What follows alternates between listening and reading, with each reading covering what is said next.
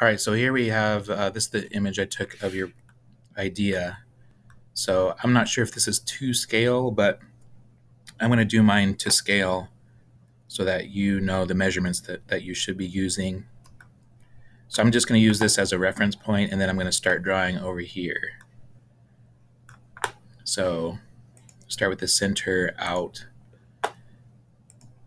The center um, hole for the bearing should be total of 23 millimeters. So that's a radius of 11.5. So it's half of the diameter. So 11.5 millimeters. And then we're going to create something that is on the outside here. So you have the inside circle.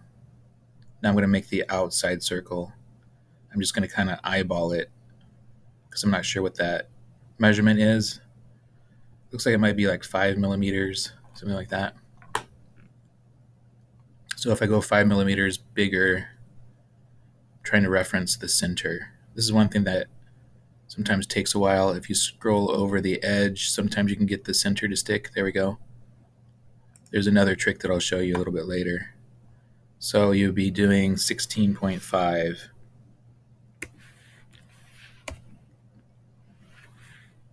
which is five millimeters bigger than the previous measurement. That looks pretty good. All right, so I want to get rid of this center part because that is going to eventually be a hole. So I'm going to just select this surface and press delete on the keyboard. Now I'm going to push pull this out. And if you want the same um, height as the bearing. That is seven millimeters. I'm just going to go seven, enter. So now I have that center part. The next thing I want to do is I'm going to make some snap point. Actually, one of these things that we haven't really discussed in class, but is really important. We can only print things that are solid. So right now, this looks like it's a solid, but it's actually a bunch of surfaces. There's a top surface, there's an inside surface, an outside surface, and then there's one on the bottom. So this little guy right here is entity info. This tells you when you have something selected what it is. So right now I have a face selected. If I select just a line, it will say that's just a circle. There's another face surface. So these are not solids yet. They're just a bunch of surfaces that are basically touching each other. But we haven't said we want this to be a solid yet. So the way to convert it to a solid is to either make it into a group or into a component. So I need to select all these surfaces that are touching and make a component or make a group. So I'm going to just draw a window around these objects. It's going to select everything there. And then right click and make component. Doesn't matter what the name is at this point. I'm just going to click OK. So now I have a solid component. So anything that is a solid, we can print. So right now you could print this, but we're not done yet. So the next thing we're going to do is because you have uh, four little arms that are sticking out. I'm going to make what I call a snap point at each of these points on um, the ring that I've already created. I'm going to use just some lines to do that. So I want to be symmetrical and kind of plan out what I'm doing. So I'm going to first use just the line tool and I want, want to reference the bottom so I'm going to try to find the center if I can again. There we go, there's a center. I'm going to draw straight out until the edge, the bottom edge. Actually, I'll go to the outside edge. Since I'm drawing on the bottom, I'm actually going to orbit to see the bottom. I want to be on the red axis. go out to the end point. And then I'm going to go up the side. So I want to be on the blue axis this time, up to the edge. Now I'm going to go and do four different points. I'm going to go from the center point again on the red axis to the opposite side this time. And then up again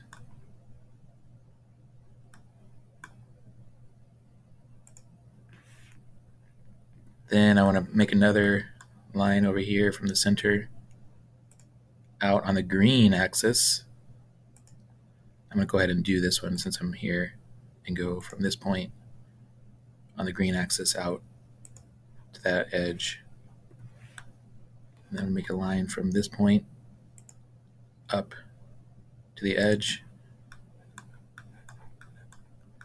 Then I'm done. I, I want to get out of this tool, so I'm done drawing. Just press escape. And then go up here on the blue axis up to the edge. So these will come in handy in just a little bit. It'll all make sense. So the next thing is I want to do the little arm thingies.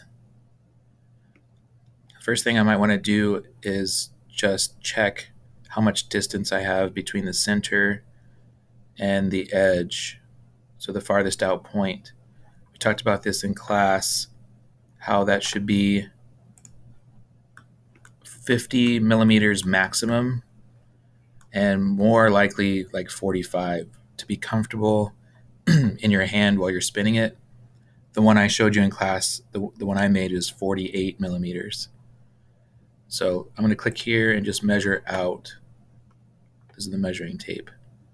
Till I get to 50. Let's go out to 50. Let's just type it 50, enter.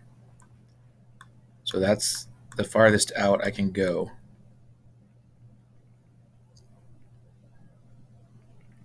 So let's just say that that we don't ever want to go farther than that and possibly you want to go in closer if possible. So I'm going to do a circle next and just get an idea of what would look good.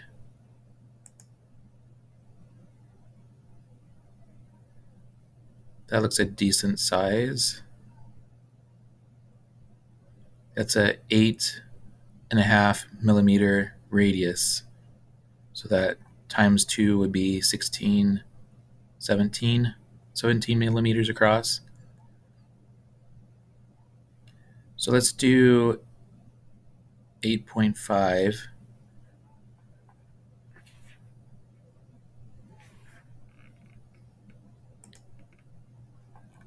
Hold on. I'm just going to draw it over here somewhere. 8.5 enter. And then this is going to be, I want to attach it to the edge. So I'm going to draw a line here. Actually, let's go ahead and make this a thingy. I'm not sure if you want this to be the same thickness, so I'm going to show you how to do it a different thickness if you want to be different. So I'm going to go ahead and push pull this up. And let's say you want it to be five millimeters. So a little bit thinner than the center.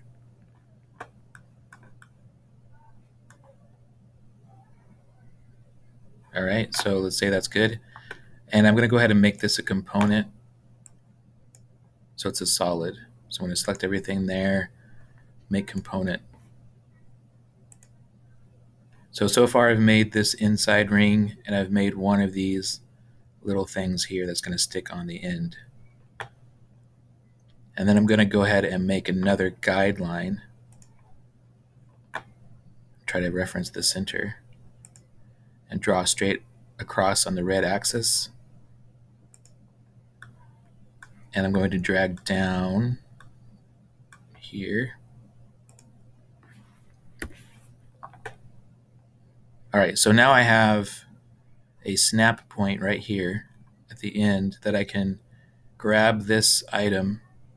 I'm going to click here to grab it here and move it and attach it right here. So I'm going to use the select tool first and select what I want to move. I grab all of this and I'm going to use the move tool, grab it right here and move it till it snaps to the end of that guideline.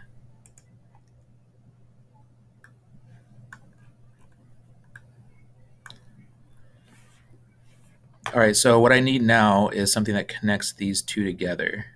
And one other thing that we're going to look at in just a minute is the fact that this is smaller and you probably want that to end up in the middle. So it's going to be floating in the middle straight out. So right now it's sitting on the ground and this needs to be moved up. So it's equal distant away from the floor as it is from the top of this. So we'll cover that in just a minute. What I want to talk about next is what kind of arm do you want to have here? This could be a rectangle, a simple rectangle, could be an oval, could be a circle. So this, viewing it straight on, I'm imagining maybe you want this to be an oval shape. Just make it interesting. So we're going to draw an oval and so that's found here. And can you draw an oval?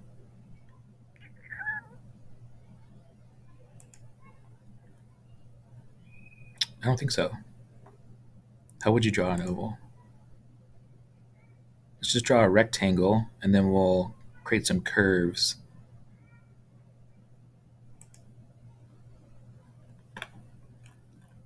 So right now, if I draw a rectangle, I'll be drawing it from a corner out, and I want to draw it from the center out so that I can align it in the midpoint and have it nice and centered.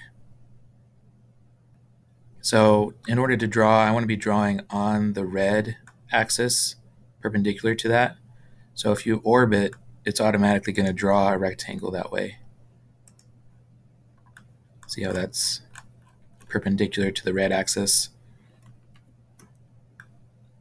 And if you want to make sure it's that way, you can um, use your arrow button and you want the right arrow. That will make sure it's aligned to that axis. And then I can't see my notes down here because this thing's in the way. If you want to draw a rectangle from the center out instead of from a corner, you click the control key one time. So that's corner, I can see, and that's center. So now I want to click on the midpoint and I'm going to try to go out.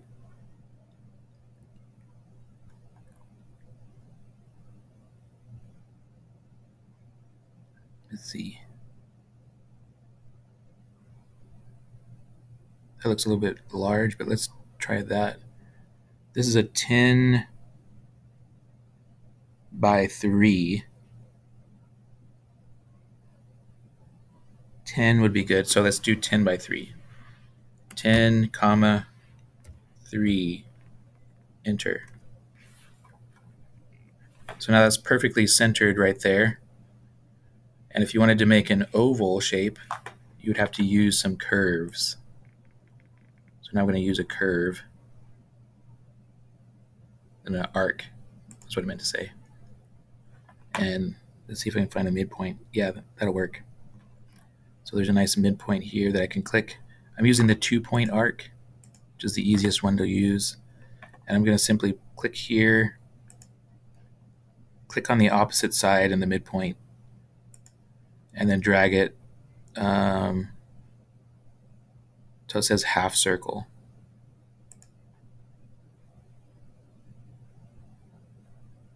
So that's not as quite as big as 10 millimeters, but let's see how it looks. I'm to do it on the other side as well. Click here, click here, and then go out to half circle. Now I'm going to get rid of these lines that I don't need.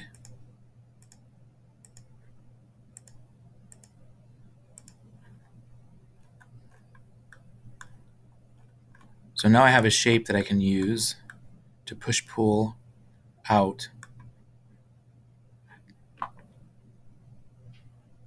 Use a push pull.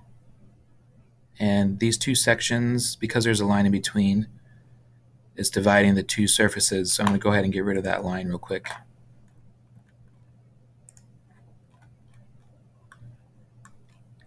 All right, so now I'm going to push pull this out.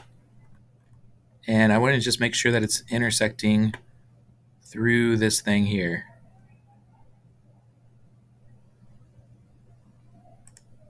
So about right there is good. And because I placed it on the end of this thing, there's actually a little bit of gap right there, see? So it's attached to the face or where this thing ends, but then the edges are not attached at all. So I want to actually, after I make this a component, I'm going to move it in. So first thing I want to do is I'm going to move everything, you know, both of these solids out of the way for a second. So I'm going to select them first.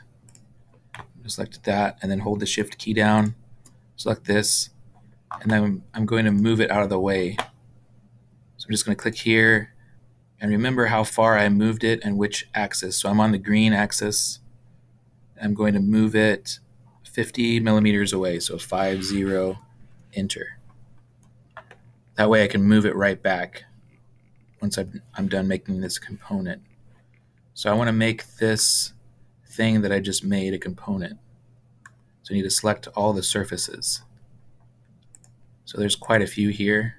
I can actually get rid of this line. So I can delete that. And there's probably one on the bottom too. I'm just cleaning this up before I make it a solid. So now what I need to select are the surfaces. So I can click and select them holding the shift key to add.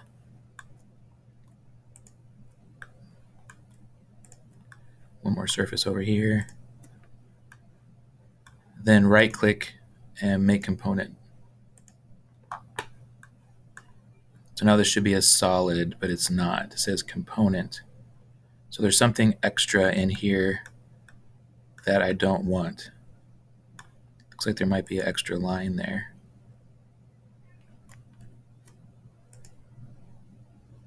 So let's go ahead and instead of selecting individual things, let me see what happens if I delete this. Yeah, we don't want to do that. So instead of selecting individual faces, I'm going to go ahead and draw a box around it. So I'm going to draw a box.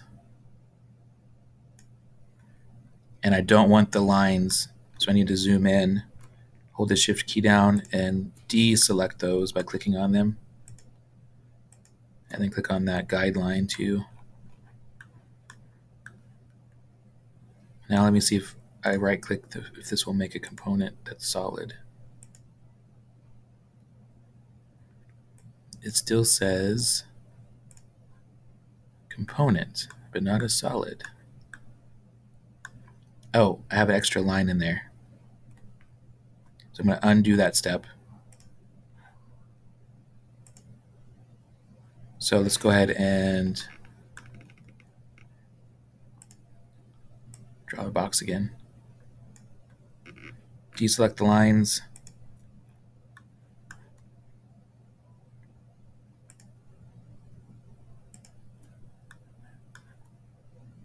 You don't want to have any extra lines in it or else it won't be a solid. And make component. Okay, yeah, now we have a solid component. That's what we're looking for. So now this is a solid, and I'm going to move these two items back.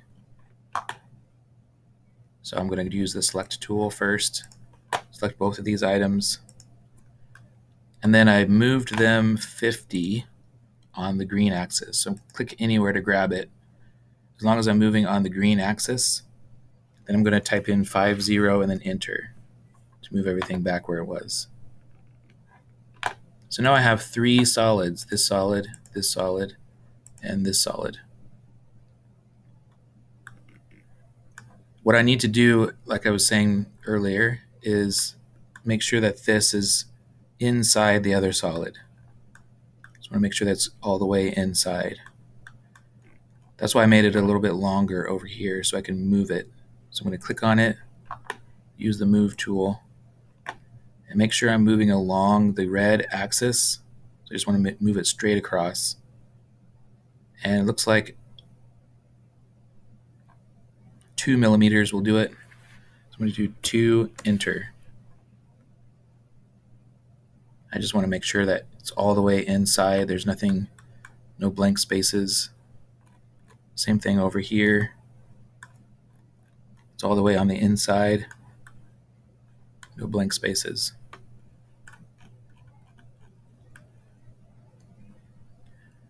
All right, so now the next thing I need to do is um, talk about what we are talking about earlier. So right now, this is not in the middle. It's sitting on the floor level, same as this one, but we intentionally made it shorter. So in my mind, I think this should be like this should be in the middle of this. So there's a couple ways you could do it. You could make a snap point, or we could do some math. So it's easier to do the math because we did we extruded this five millimeters if you're not sure, you could just go ahead and measure it. So straight up, I'm just looking down there at the length. That's five millimeters. And this is seven. So there's a difference of two. So you'll want a millimeter of blank space on the bottom and a millimeter of blank space on the top. So that means I need to move this up one millimeter. So I'm just going to grab this item use the move tool. Make sure I'm moving straight up on the blue axis and then just type a 1 for 1 millimeter. Enter. So now that should be straight in the middle of that. All right, so now I want to make three more of these. So what I could do is multiply these, rotate them, and then attach them, which is the easiest thing to do. So I'm going to go through that really quickly. Um, before I do that, I have two solids that are all eventually all of these solids will be joined together. So I'm just going to join these two together to make this next step easier. So I have two solids. Eventually you want all of this to be one connected solid. So to join solids together, you're going to use these tools over here. This is the solid editing tools. The first two would work for what you want to do. Um, outer shell and union both do a similar thing. Union allows you to have voids on the inside of your solid whereas um, outer shell fills in all the voids. You don't have any voids, so it doesn't matter which one you use. So let's go ahead and do outer shell. So you're going to select one solid and then select the other solid. It's going to join the two together into a solid group. So now that's all one thingy. So now we're going to copy this So I'm going to go to the move tool. Actually, I need to select it first. I want to select this item because I want to copy it. Use the move tool. Click control to get into copy mode. Click anywhere to grab it and then just place it somewhere.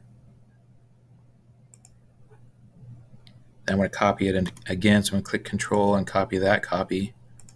Then I need one more So click control again and copy it again. So now I have a total of four arm thingies. And these, each of these needs to be rotated before I can put it on this donut thing. So I'm going to use this one first because it's kind of sticking out here. And I want to rotate it. So I'm going to use this rotate tool. I want to rotate it on this axis So think of it as the face of a clock. And I want the face to be this way. I don't want to rotate it this way.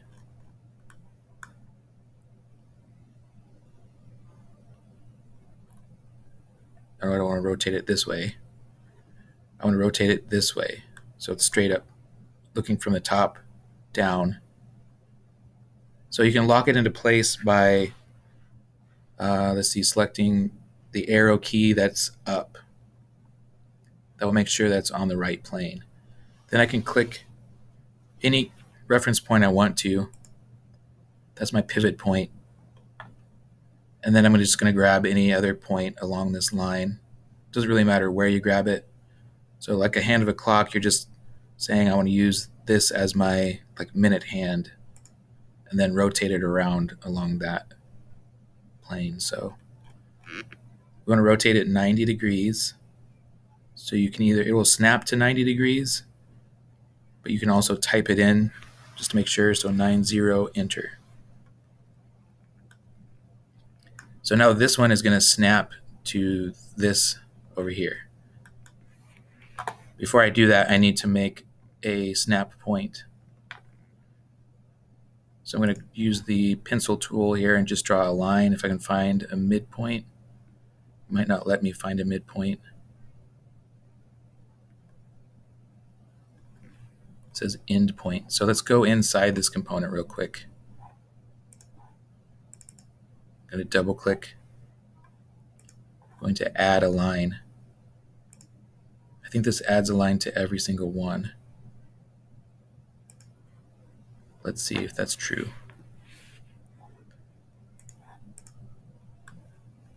No, it just edited that one. Okay, good.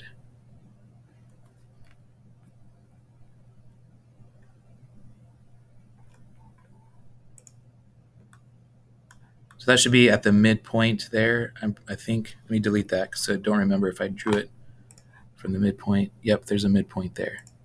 So midpoint to the other midpoint. Now I need to snap this thing into place. So before I do anything, let me just show you. It does say solid group, even though there's an extra line in there. Awesome. So we're going to leave that line there and use it as a snap point. We're going to move this item now into place. So use the move tool, grab it from this midpoint, and snap it to the other midpoint that's on this donut here. Should be midpoint there.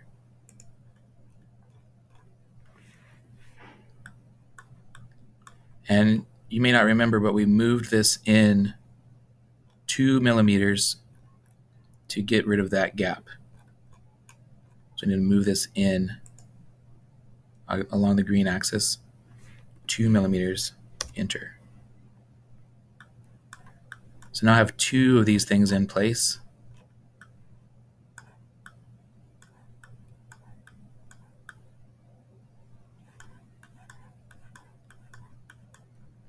So now I need to rotate some more of these guys. So this will allow me to rotate this item. Grab it from this corner. I'm just going to speed up the process since you know what you're doing now. This one's going to be 180 degrees. Then I need to go in here, draw a line from the midpoint to the midpoint. That's not right. It says endpoint. We're going to use it. All right, now we're going to move. So let me get out of here, select this guy, move midpoint over to the midpoint over here. I need to move it along the red axis, two millimeters, enter. Last one.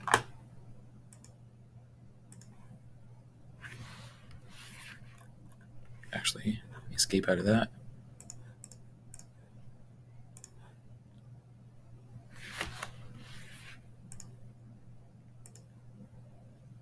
Ninety degrees. Go inside here, draw a little line.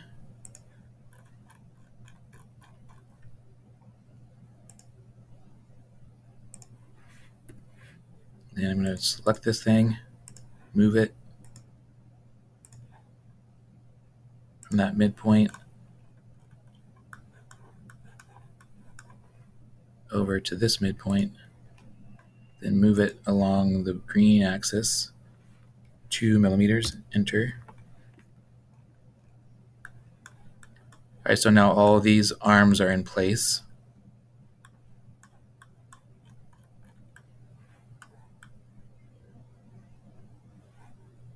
And the last thing you wanted to do is add some shapes on top. Now the triangle, the square, and the circle are all going to be very easy. The X basically make two rectangles, or I don't know how exactly you want to make that, so I'll leave that up to you. But I'm going to show you how to do the other shapes. So the easiest thing is to use the center point on these circles so to find the center point, I usually just try to make a line. I'm just going to click on the outer shell part and then draw a line straight across. That's just my center point there. So let's say the first one here is a square. So I want to use a square. And I want to draw it from the center out. So I'm going to use control to draw from the center instead of from a corner. The endpoint there. And I'm just looking at my measurements to what looks good to me. So I'm thinking maybe a seven millimeter square. So seven by seven. Enter.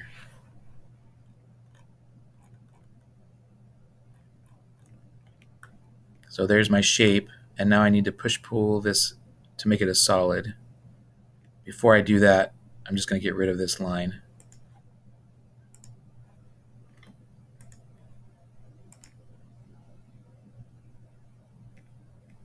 And see how, I don't know how deep you want it to be. Maybe to match this top, that'll be one millimeter. Let's do a little bit taller, so let's do two millimeters. So there's one shape.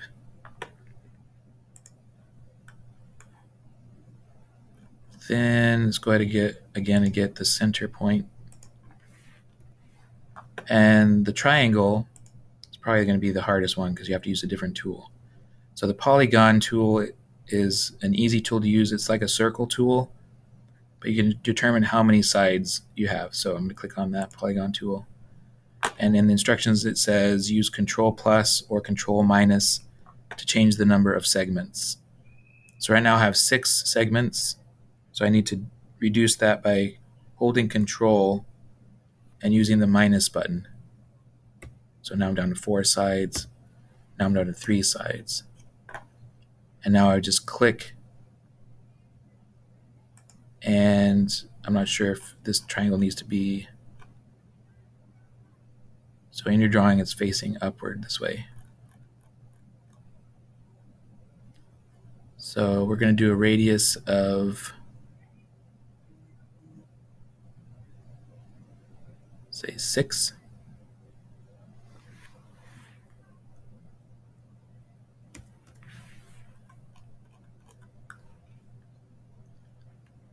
That looks pretty close to good. So now I'm going to delete the lines here. No longer need those. Push pull this up two millimeters. So there's two shapes. The circle is going to be easy. You know how to do that from the center out. So let me show you what to do now that you have all these shapes. These are not solids. These are still surfaces. So you need to make these solid somehow. So it's really hard to do that because the bottom surface is hidden because it's on top of another surface. So I can't select that surface. So to make this easier, I'm just going to move what I have done out of the way. So I'm going to click on the select and just select the four arms and the center part. I'm going to move it away. So I'm going to use the move tool. Click anywhere. I'm going to move it along the red axis and I want to move it out of the way. So I'm going to use 100 millimeters, 100. All right. Now these are left here so I can make them into solids. I'm going to use my select tool. Select all of this first, right click, make component. Then I want to select this. I don't want the line, so I'm to shift, click on that. I don't think I need this line either. And then a right click, make component.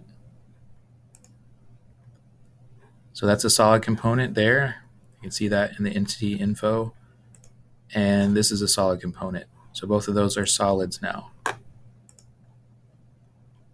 So now I'm just going to move everything back into place. Or actually I can move these over 100. Either way, same difference. So I'm going to go ahead and select all of this use the move tool, move it over 100.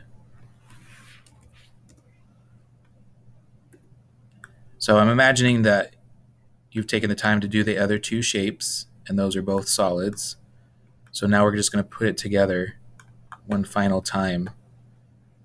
So we're going to use the solid editing tools, so the outer shell,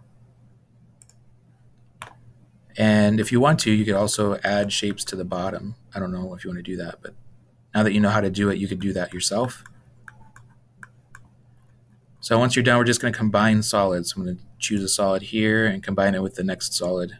They have to be connected, touching each other. I'm just making sure that after I do that, that everything is a solid group. It still is. So now that one's already selected. So I'm going to join it to this group and then that's still a solid group. So far, so good. Then join it to the next arm over, and then add this one, and add the shape on top. Then add this arm. And that is your fidget spinner. I'm just going to move it out of the way so there's no lines there interfering. Move it over, say 150. And this would be the object that you would print.